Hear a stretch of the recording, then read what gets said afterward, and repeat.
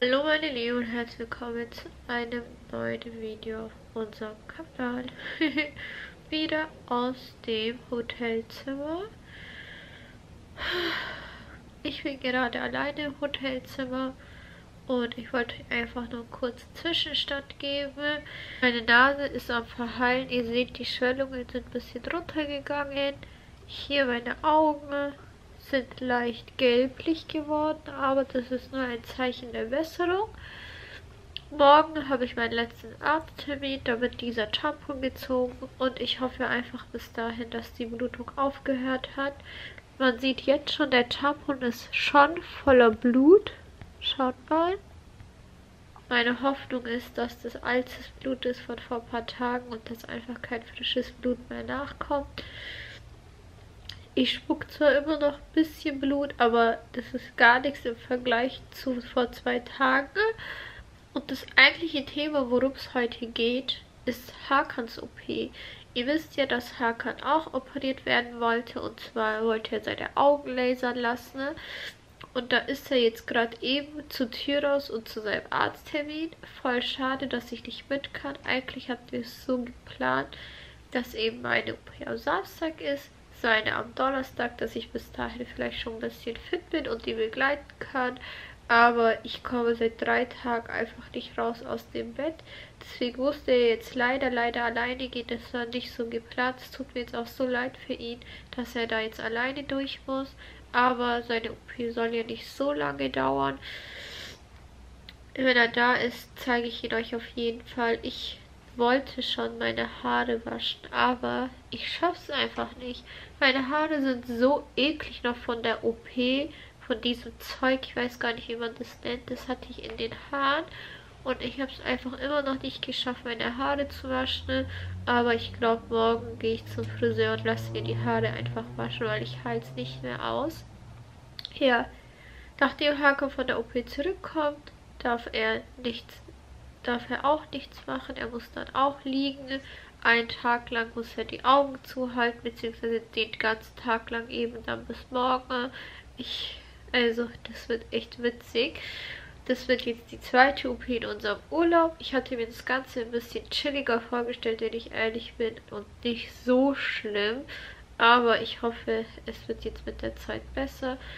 Heute ist Donnerstag. Wir fliegen am Sonntag. Meine einzige Hoffnung ist einfach, dass wir den Flug wahrnehmen können und nicht aufgrund irgendwelcher Komplikationen den Flug irgendwie verschieben müssen.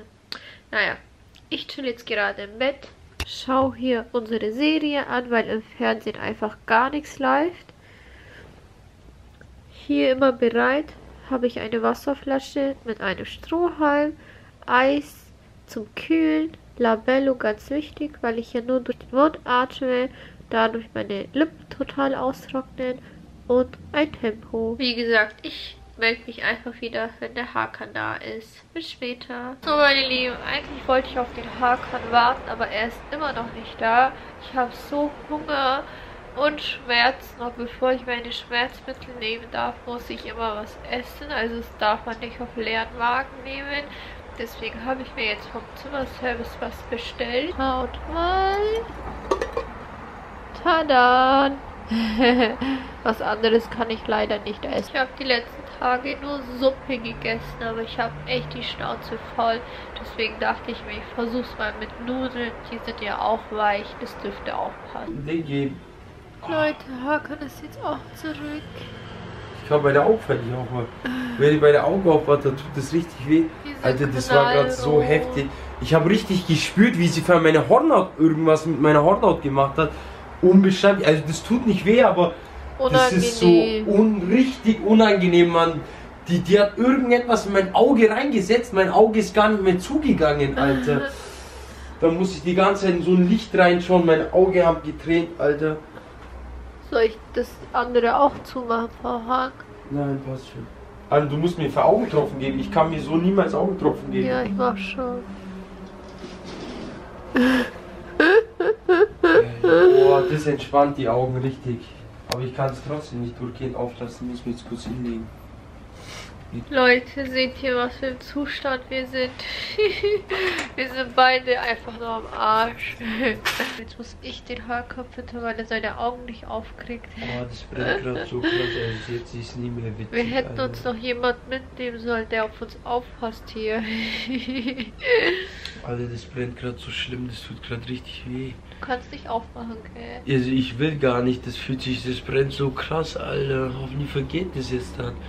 Ich soll mir auch noch Augentropfen geben in zwei Stunden, ich krieg meine Augen nicht auf. Ja, das legt sich schwer. Die drücken die ganze Zeit zu, kennst du das Gefühl, wenn es so brennt? Mhm. So Leute, dann melde ich mich wieder zurück. Es ist 9 Uhr. Und wir haben mir gerade ein Candlelight genommen. wir müssen im Dunkeln essen, weil Hakan nicht im Licht sitzen darf. Ich darf schon, aber es ist überanstrengend, so krass meine Augen. Ich schaue gerade durch so einen kleinen Schlitz, glaubt's mir. Siehst du überhaupt, was du isst?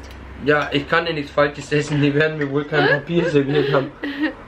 Also guten Appetit. So Leute, guten Morgen, ich melde mich wieder zurück von euch. Da hinten klingelt der Wecker, da hinten läuft der Fernseher, hier läuft alles, ja. Hör mal. Ilka und ich haben jetzt so einen kleinen Sehtest gemacht und ich muss sagen, meine Augen sind jetzt schon voll gut geworden und diese Brille, also das ist jetzt keine Brille mit Stärke oder so, das ist eine ganz normale Schutzbrille. Ich muss sagen, ich kann jetzt voll vieles ohne Brille einfach nur lesen. Wir machen jetzt so kleine kurze Tests mit der Ilkay. Wo bist du? Hier. Ilkay, kannst du das lesen? Warte mal. Da steht doch Ayaküstü-Buffet 1, 2, 3, das vierte Fenster. Hm. Lese es nicht vor. Kannst du es lesen? Ja. Da steht Dişekimi,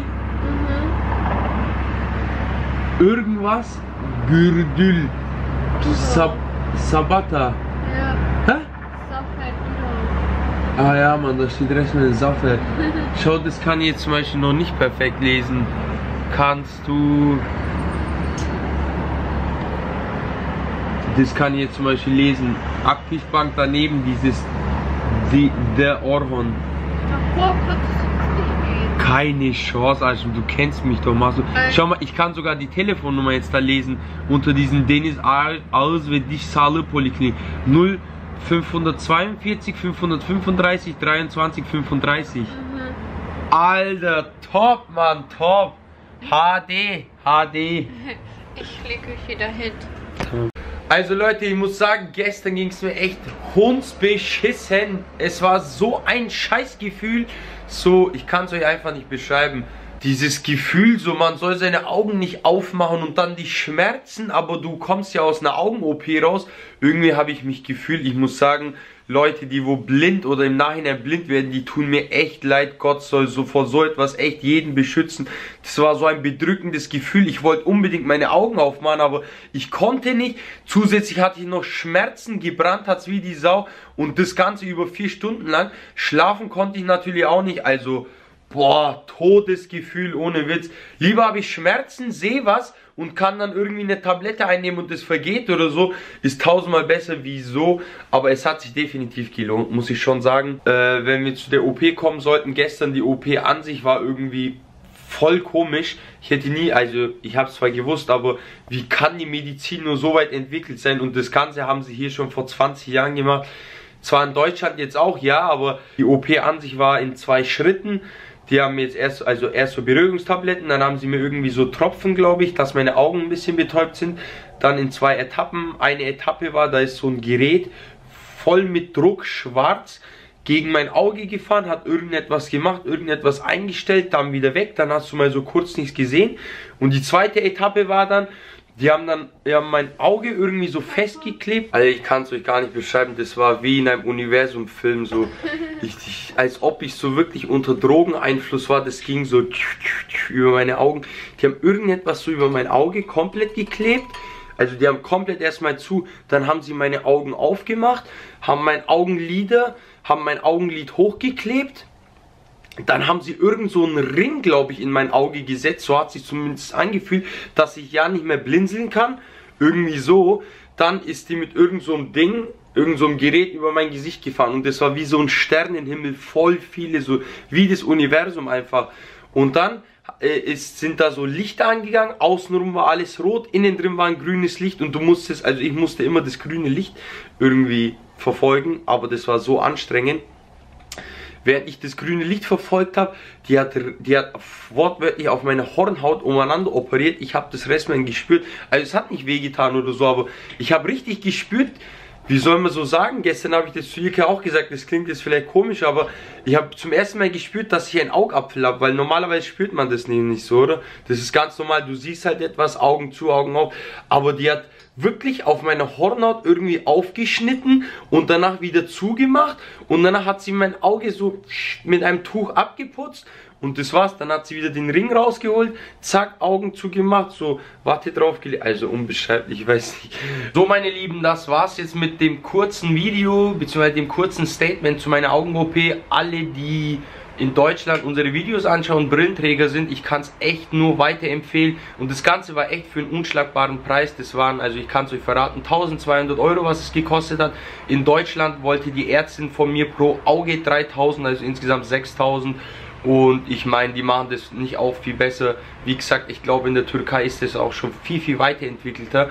Und wie gesagt, top Leistung. Ich hocke schon die ganze Zeit hier drüben am Fenster und begutachte die Leute, die Schriften und ich kann echt alles top lesen, jetzt schon. Jetzt heißt für mich, in circa einer Stunde habe ich jetzt nochmal eine Kontrolle und dann würde ich sagen, Glückwunsch für meine neuen Augen und beende hiermit das Video. Wir hoffen natürlich, das Video hat euch gefallen, das kurze Video, unser Statement. Ihr lasst uns ein paar Daumen da, da ist Ilkay da hinten und ich würde sagen, bis zum nächsten Mal.